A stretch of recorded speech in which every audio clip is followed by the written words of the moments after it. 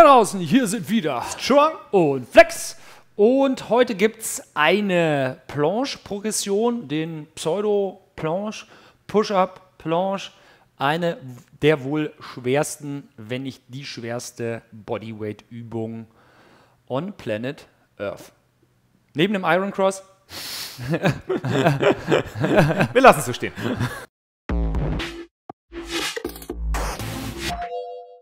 So, äh, jetzt bin ich mal hier unten und würde gerne, gerne noch.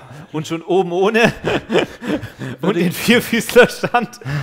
Das Video Was geht nicht in die jetzt? Richtung, in die es gehen soll. Ah, okay. ähm, nee, ich wollte eigentlich was ganz anderes sagen. Ähm, und zwar Wrist Prep, Handgelenkspräparation, Handgelenksvorbereitung. Äh, wir nehmen eine Handposition ein, die recht handgelenkslastig ist. Und ähm, das heißt, du solltest unbedingt deine Handgelenke vorbereiten. Und grundsätzlich, wenn du viel drückst, wenn du viel in den Handstand gehst, mit der blanken Hand am Boden, solltest du unbedingt viel äh, für dein Handgelenk tun. Äh, es kräftigen und mobilisieren und ähm, die, den Gelenkspalt mal aus, auseinanderziehen und was man alles so Schönes machen kann. Äh, oben ohne bin ich, weil bei dem Pseudo-Planche-Push-Up eine maximale Protraktion und eine maximale Depression gefragt ist. Und ähm, damit man sehen kann, was damit gemeint ist, der Strong wird da gleich ähm, den Erklärbär machen. Dann, äh, deswegen habe ich mal hier mich meine Shirts entledigt. Es hat nur diesen und keinen anderen Grund. Gut. Gut, jetzt bin ich beruhigt. ähm, So, was machen? Also du platzierst deine Hände so, wie du sie am liebsten platzierst. Ähm, für diese Übung jetzt, manche Leute können die Zeigef äh, Zeigefinger nach vorne zeigen lassen. Mit mehr Außenrotation der Hand wird es einfach ein bisschen angenehmer im Handgelenk.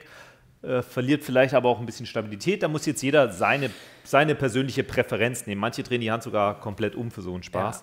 Also ich Ähm. bin mit meinen Handgelenken in früher Jugend nicht so super gut umgegangen und deshalb muss ich auf jeden Fall ausdrehen. Das ist auch so ein bisschen der Grund. Wir haben gerade noch eine Diskussion gehabt. Ist das, nein, das ist doch nicht die schwerste Übung und so. Für mich ist es eine extrem herausfordernde Übung, deswegen äh, ist das vorhin so aus mir rausgekommen, äh, weil meine Handgelenke mich da ähm, sehr limitieren. Also das heißt, oh Wunder, es gibt noch viele andere schöne, fiese Übungen. So ein Glück für uns. Ja. Okay, äh, Also Hände sind hübsch unter den Schultern. du gehst in Liegestützposition. Unterschied bei, diese, bei dieser Liegestützposition ist, du bist bitte auf dem Fußrücken, nicht auf den Zehenspitzen. Und nach wie vor ist wichtig, wie im perfekten Push-Up. Das Becken ist nach hinten gekippt, also das Gegenteil vom Hohlkreuz. Der Po ist fest, der Bauch ist fest, damit das so bleibt. Ähm, und jetzt gehen wir kurz auf die Schulterposition bzw. die Schulterblätter ein. Ich möchte mal kurz maximale Protraktion von dir haben. Das heißt, das Schulterblatt schiebt nach außen weg. Und verschwindet, ist nicht mehr wirklich Das heißt, zu sehen. Das heißt, ich kann Das- es. Ja, bitte geh nochmal. Das war die Retraktion. Schulterblätter sind zu sehen.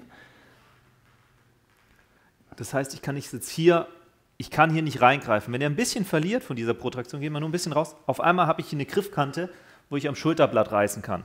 Also theoretisch musst du immer versuchen, dass du hier komplett rund bist, dass dir keiner das Schulterblatt rausreißen kann. Genau. Wer würde denn so fies sein? Also ich würde es mir auf jeden Fall mal gönnen, den Spaß. So, jetzt müssen wir gucken, Abstand, Hände, Füße, weil wir wollen mit den Händen ein bisschen woanders hin, wo wir sonst sind. Wo wollen wir hin mit den Händen? die Hände bleiben, wo sie sind. Ja, ja, aber wo sollen die Hände in der Endposition sein? Weit weg von den Hüften? Nah dran an den Hüften? Ach so, ja, aber die, die Hände bewegen sich dabei nicht. Also wir lassen uns nach vorne unten in den Liegestütz ab und gehen dabei tendenziell ähm, mit den Händen auf Höhe des Bauchnabels bzw. der Hüfte, wie wir das bei einer Planche machen würden. Genau, nach vorne unten. Jetzt Retraktion auflösen, maximale Protraktion. Schulter ist auch in der Depression, der Nacken ist lang. Becken bleibt nach hinten, Kipppo und Bauch ist fest. Und jetzt immer nach vorne unten in den Liegestütz. Vorher die Re Protraktion auflösen. Zeig das einmal noch mal ganz kurz bitte. Also Protraktion in die Retraktion, Schulterblätter absichern, in der Depression bleiben des Schulterblatts, also nach unten gezogen und ablassen. Genau, was ich, Und- was ich eben meinte ist, wenn ich hier starte, dann komme ich nicht dahin, wo ich hin will. Also ich muss mit den Füßen nach vorne, damit ich nachher, wenn ich unten bin, nah der Hüfte bin. Ja, ähm, wobei sich das manchmal ausreguliert. Geh, mal, geh nochmal zurück. Und jetzt geh nach vorne unten in deinen Liegestütz. Ja, geht Dann, nicht. dann müsste man mit den Füßen nachziehen und das kannst du dann auch machen. Also wenn du merkst, du, du blockst, jetzt bist du auf einmal in der richtigen Position. Dann merkt man relativ schnell, wo die Füße denn sein sollten. Also da muss man jetzt keine Riesenwissenschaft draus machen. Aber definitiv ist die Hand sehr, sehr nahe am Bauchnabel. Maximale Protraktion, Protraktion, da müsst ihr euch immer hinzwingen. Und richtig schön wäre natürlich, wenn man sich nicht nur einfach rausschiebt, sondern auch noch ein bisschen vorne bleibt und den Ellbogen durchgedrückt lässt, dass man diese Last der Planche auf jeden Fall noch nimmt. Du hast vorhin gesagt, beim, beim Pseudo-Planche-Push-Up ist die, äh, ist die Protraktion wichtig, die ist generell auch in der, in der Planche wichtig. Du musst in der Lage sein, hier vernünftig rauszudrücken. Und das ist halt eine super Vorübung für die, für die Full-Planche. Ähm, genau. da deine Schultern so weit kraftkräftig zu kriegen, um dich da halten zu können. Und das andere ist natürlich die Armstreckung in dieser Vorlage genießen zu können. Ja, und, und genau dort, also im, in diesem Bereich Brustwirbelsäule, Oberrücken, dort fehlt halt auch die meiste Kraft in der Regel, weil man einfach auch nicht gewohnt ist, eben da dahin zu arbeiten. Aber das ist eben notwendig, um eines schönen Tages, vielleicht schaffe ich es auch, mal sehen, eines schönen Tages. Ich bin zuversichtlich.